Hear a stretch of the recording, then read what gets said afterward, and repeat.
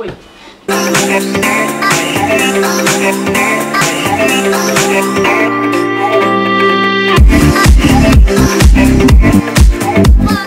Всем привет, с вами я, Ксения Кузнецова, и сейчас мы будем снимать вопрос-ответ, ответ, вопрос, вопрос-ответ, какая разница, в общем, вы поняли, да, вы поняли. Потому что вы очень любите задавать мне всякие вопросики, а я люблю на них отвечать, и это самое простое видео, которое я могу снять. Пойдемте, давайте начнем, пожалуйста, а то что с моими руками, потому что я уже не могу. Я хочу что-нибудь рассказать. Итак, первый вопрос от Алины Рудаковой. Каким трюком планируешь обучить эластик? Так как ластик мой умеет уже достаточно много трюков, это передний край, трапеция, поклон на оба запястья, кстати, уже, апортировка, свечка, задний край, это вот самая база такая, которую он умеет. Еще я хочу научить его очень сильно испанскому шагу. Вообще, эластик уже умеет много трюков. Так, следующий вопрос от Влады Журавлевой. Ты любишь меня? Даже не знаю, даже не знаю. Если на меня подписана, то да. А если то тоже да. Ага, конечно. Следующий вопрос от Марии Сафроновой. Ксюша, привет. Привет. Какой самый лучший и незабываемый день на конюшне?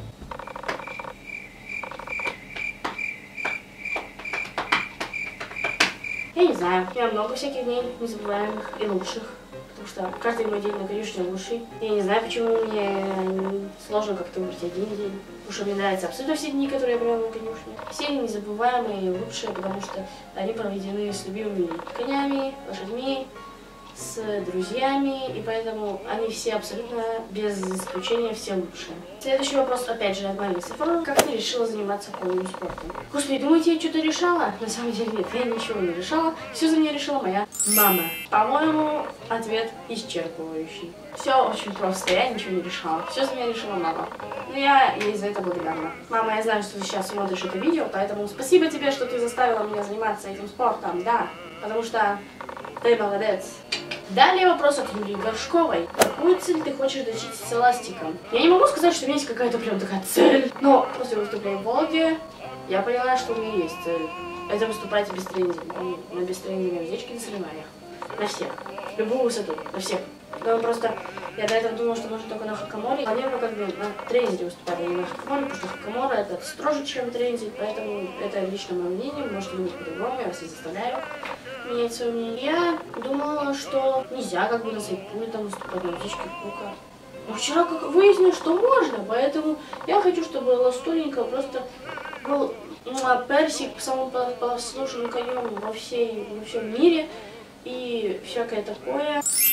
Следующие три вопроса от Анны Ивановой. Какие у тебя самые любимые лошади? Я, я так поняла, что в принципе лошади. Не свои конюшни, просто лошади. Какие породы, там все дела. Вообще-то мне очень нравятся соловые лошади, потому что я не знаю почему, но они мне нравятся, потому что они соловые. Что сказала, что сказала, что сказала. Мне нравятся соловые лошади, высокенькие такие, среднего роста, как вот эластик, нормальный рост. Я сейчас представила слово эластика. Это просто ужас. Нет. Где ты именно занимаешься? Клуб или что-то другое? Я занимаюсь в ДЮ США номер 15 по конному спорту. Если вы не знаете, как расшифровывается ДЮ США, то детская, юношеская спортивная школа просто. Все меня спрашивают, где я занимаюсь. Да боже мой, я занимаюсь в обычной муниципальной городской школе города Рыбинска. Она не частная, она муниципальная. Принадлежит городу, все наши школьные лошади принадлежат городу. А частные мне, ну не все частные, а мои частные, это мне, моей маме, моей семье, как хотите. Какое самое незабываемое твое выступление или соревнование? Господи, самое незабываемое мое соревнование это... Вот, это КСК Конковские конюшни, это просто мое самое любимое выступление, которое когда-либо было в моей жизни, потому что это просто шедевр. И еще было парочку, но они были как бы не самыми лучшими, Просто все мои выступления, как, как я могу сказать, незабываемые, я все их помню. Куда дать, я сразу, о, я там сделала то-то или сделала то-то. Поэтому многие мои выступления незабываемые. А особенно незабываемые самое мое первое выступление. Меня даже медаль до сих пор помню. Но это уже другой вопрос. Следующие три вопроса от Fox Black. Какие книги твои самые любимые и почему? На данный момент у меня любимые книги это вот эти. Это Джоджо Мойс «Танцующая с лошадьми». Просто шедевр. Э, не буду ничего говорить, потому что все в книжном обзоре. Все в книжном обзоре.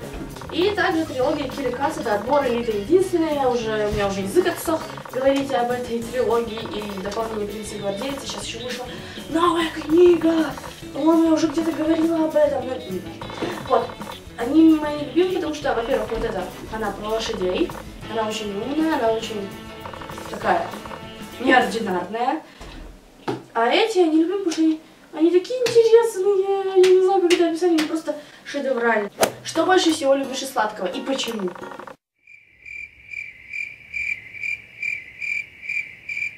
Ну, не знаю. Я просто люблю сладкое все. Просто все. Жрать, сожрать, это все. Тортики я люблю. Тортички, тортички, тортичулечки. Тортички люблю. Потом, когда у кого-то день рождения на конюшне, я такая радая. В будущем ты планируешь выступать на трендинной уздечке на эластике или же нет? Я говорила ранее, то я в будущем, как выяснилось, планирую выступать без трензеля на всех своих лошадях. Ну вот так вот, ну планирую я. Мама, ты обещала подумать, так что давай думай. Что чувство, когда не грузит телефон? Но у меня есть второй телефон. Сейчас продолжим. Не переживай. я такая Рич, у меня два телефона.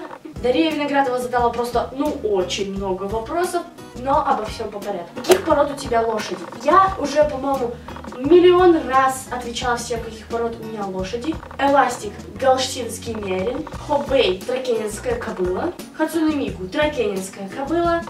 И Оскар, тракенинский мерин. Спасибо. Сколько ты покупала лошадей? Оскар, школьный эластик. 200 тысяч рублей, Хобей 150 тысяч рублей.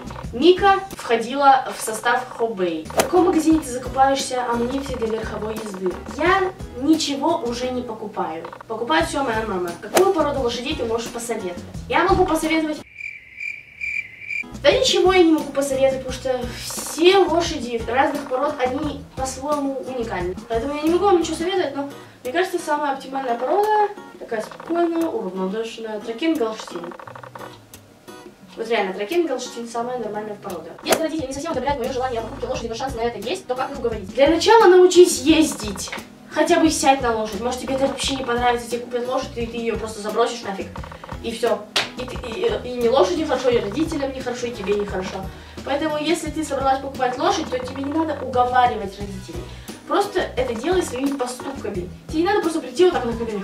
Ну, мама, ну купи мне лошадь, она мне так нужна. Не портите жизнь ни себе, ни лошади. Вот честно, без обид. Опять вопрос от Алины Рудуковой. Ксюша, привет. Привет. На ком ты ехала свои первые соревнования? О, да. Барабанная дробь, я думаю, все знают, на ком я ехала свои первые соревнования. Это был Оскар. Оскар это моя лошадь уже с 2009 года или 10 какого там года. Короче, с 9 лет с моих. То есть он со уже 7 лет. Ну, если когда мне 16 исполнится, будет 7 лет. Как он со мной. И я с ним, и мы вместе просто... Кстати, сейчас покажу свою медаль и грамоту. Я заняла первое место, когда ехала свои первые соревнования на Оскаре. О, да. О, да. Вот она.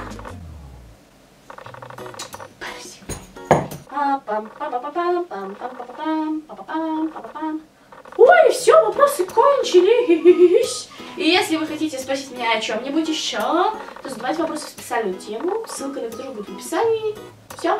С вами была я, Ксения Кузнецова. Любите своих лошадей, задавайте мне вопросы, я на них отвечу. Только прошу, не повторяйтесь.